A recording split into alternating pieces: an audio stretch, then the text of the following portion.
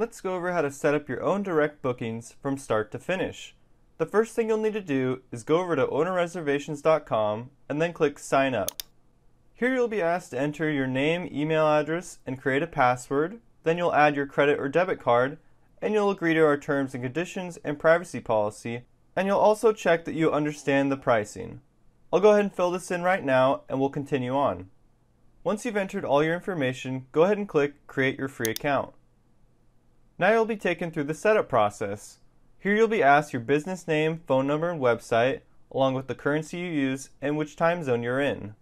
You can also select whether or not you use a business name or you do everything under your personal name. I'll go ahead and enter in my info here, and when you're ready, click Save and Continue. Next you'll be asked how many properties you want to add. You can click to add one property for now, or you can add multiple properties in bulk right now. We're going to go ahead and just add one property for now. We'll go ahead and click Continue. Next you'll be asked what the property is called and the location of the property. When you're ready, click Save and Continue. Here we see the property we just added, and if we'd like, we can choose to add another property or add multiple properties. We'll go ahead and click Continue. Next you'll be asked what your seasons look like. You can choose I only have one season, you can choose I just have two seasons, you could choose I have more than two, or you can choose my seasons are complicated and are based on certain specific dates. We'll go ahead and say we only have one season for now and click continue. We'll see a new season has been created that goes from January 1st to December 31st, and we can add another reoccurring season or we can add a specific date season. For now, we'll go ahead and click continue. Then we'll be asked to set the nightly rates for that season. We'll go ahead and set this to 300, and we'll go ahead and leave the weekend night alone. Then we'll click Save and Continue. And now we see that we're all done with the initial setup. And if you scroll down, you'll see other steps you may want to do to get your property ready for taking direct bookings. We'll go ahead and scroll up to the top and go to Properties. Here we see the property we just created. Now let's import all the property data for this property from our Airbnb listing site. To do so, click on Import from Airbnb. Here you'll be asked to enter the listing page URL and then instead of clicking add new property, we'll go ahead and update the existing property we have, Poppy's Hideaway, and below that you can check what you'd like to import. We want to import everything, and up here we'll go ahead and add our listing site. Once you have pasted the URL here, go to the bottom and click import. Now we see that the import was complete and all these items were added into OwnerRez. You can click into that property and see everything that was added from the description, amenities, photos, and everything else. Something important that you'll want to check is the rules. We'll go ahead and click Change. Here you can set all the rules for this property. Currently, we have the default $300 security deposit, and we'll go ahead and leave that alone. Next, we'll scroll down to size restrictions. Here's where you would put the maximum amount of guests you allow in this property. We'll go ahead and put 6, and you can also choose to allow pets or not allow pets, and you can set rules for adults and children as well. There are lots of different rules in this section, so we advise you to check this out before taking any direct bookings. We'll go ahead and leave everything else as is and click Save.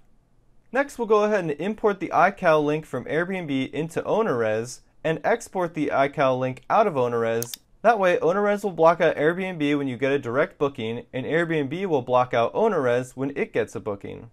In the Calendar section, you'll see the Calendar Import option, and you can click Import Calendar. You'll need to add the iCal URL here. To get that, you'll need to go to your Airbnb account, select the property, and then click Availability. When you scroll down, you'll see an Import and Export Calendar button. To get the Airbnb iCal export link, you'll need to click Export Calendar, then Airbnb will give you a link and you'll come back in here and paste it in the URL box. Here you see it automatically put the listing site as Airbnb and it gave it the name Airbnb iCal. We only want to import the bookings and that is automatically checked. Everything else we'll leave alone and we'll click Save. Next we'll go back to Calendars and click Calendar Export. Here's where you'll find the Calendar Export link for Poppy's Hideaway. And if you click this button, it'll copy that link for you. What you'll do is you'll head back to Airbnb and then click Import Calendar and add that calendar in here. Once you've done that, both Airbnb and OwnerRez will sync back and forth and ensure that you don't have any double bookings. if you're going to connect the Airbnb API, you do not need the iCal links. It's also important to note you should connect any iCals from any of the platforms you take bookings on. This way, you can use OwnerRez as the master calendar and be confident the guests are not booking dates that have already been booked. Next, let's go ahead and look at the rates for this property. To find rates, you can go to Settings, then click Rates. Here you'll see the rate calendar, and you'll see the 300 nightly rate we set for the season, which reoccurs and goes from January 1st to December 31st. You can change this here, or on the calendar, you can set spot rates by clicking and dragging, then clicking Set Rate. We'll go ahead and leave the $300 nightly rate alone, and now we'll go ahead and add a cleaning fee surcharge. To do so, we'll click Create Surcharge. We'll call this cleaning fee. We'll set this to $100, and you can change all this criteria if you'd like, but for now, we'll click Save. Once you've done that, you'll want to add your taxes. We'll go ahead and click Create Tax, and we'll create a state tax and we'll give it the amount of 5%. And here you can set a lot of other criteria, but for now we'll click Save. If you'd like to go more in depth with taxes, surcharges, rates, and seasons, check out our other videos. Next, let's add the default agreement. To find the rental agreement section, go to Settings, and then we'll scroll down and click Legal Agreements. Here we can click Create Agreement. We'll give it a name. We'll just call this Renter Agreement. Then we'll click Pre-fill Form and we'll select the default agreement. You can always change this or you can add your own if you'd like. We'll scroll down and we'll leave everything else alone and click Save. Next, let's add a payment processor. To find that, go to Settings, then scroll down and click Payment Methods. Here you'll see all the payment methods you can add. For whichever payment method that you want to connect, all you have to do is click Connect and then you'll be asked to enter the API credentials, which card types you accept, and the credit card statement text. And you can select which properties this will be applied to. I'll go ahead and add mine. Once you've added all your info, set the card types, and added a statement text, you can click Save. Now we see we have Authorize.net all set up and ready to go. Now let's set up a hosted website to take direct bookings. To do so, go to Settings, then scroll down and click Hosted Websites. Then you'll need to click Turn on Hosted Website, and you'll say Yes, continue with changes. Here you'll be asked to enter some info for the site. We'll go ahead and leave the name as it is. We'll go ahead and leave this as a single website property because we only have one right now. You can select which property, and here you can set the test location, and if you have your own domain name, you can set that here. Below this, you can set specific items for the website if you'd like, but for now, we'll go ahead and click Save. Here you'll be asked which template you'd like to use. There are three options and they're all customizable. We're going to go ahead and use Comic Bands and click Save. Now the site is all set up, and if you go to this test link, you can view it live. All the info below is pulled straight from OwnerRez. If you make a change to any of this in OwnerRez, it'll get reflected on the website automatically. Now if we go back to OwnerRez, let's go ahead and add a logo. To do so, you'll click on your name or business name, and then click Profile.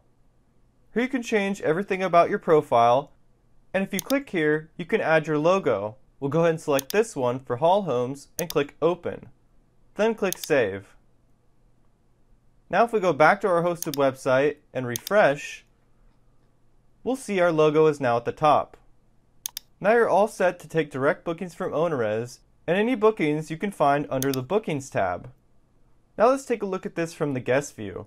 When they're ready to book, they can click Book Now, select their dates, then they can enter the amount of adults, children, and pets, and right here they'll see a detailed breakdown of all the charges.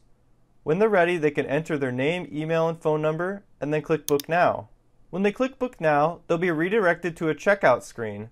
Here they'll be shown the breakdown, and they can choose to add travel insurance if they'd like. And below that, They'll be shown what to pay and how they can pay using the credit card processor we set up earlier. When they're ready, they can click Looks Good, Finish Booking. They'll add all their contact info here, along with their home address. Then they'll click Continue to Renter Agreement. Here they'll see the renter agreement that we set up earlier, and they can scroll through and read the entire thing. Then they'll put their name here to digitally sign and click I accept submit payment. Here's where the guests will add their credit card info and their billing info. Once they've entered that, they can click Continue to Confirmation, and here they'll be shown all their billing details, and they can click Confirm and Finalize now. Now the guest sees that they're all done and the booking has been saved. If we go back to our OwnerRez account and refresh the booking page, we'll now see the booking that the guest just made, and we can click in and see all the details about this booking. To go more in depth with all the things we showed in this video, check out our other videos in our support docs. That is how you set up your own direct bookings from start to finish in OwnerRez.